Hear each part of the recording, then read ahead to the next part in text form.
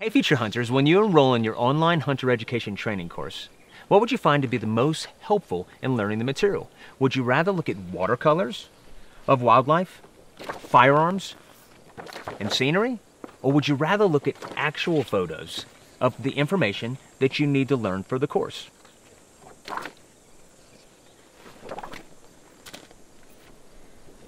You know, a picture's supposed to tell a thousand words. How many words does a watercolor illustration tell? Maybe a dozen? I think looking at watercolor illustrations would be boring. Pictures are easy to understand, and some illustrations look cheesy to me.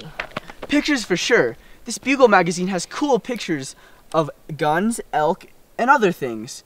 I can't imagine how boring it would be to look at a bunch of watercolor illustrations of elk, guns, and scenery rather than the real thing. Hey, let me see that.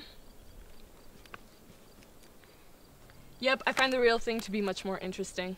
It just makes sense. If you'd rather have actual photos of wildlife, firearms, and all the other important information that you need for your hunter education training course, rather than watercolor illustrations, then you only have one choice, and that's the Outdoor Roadmap online hunter education training course. Check to see if your IHEA approved Outdoor Roadmap hunter education training program is approved in your state. And remember, it's only $13 versus almost $25, and you'll receive actual photos, not watercolor illustrations.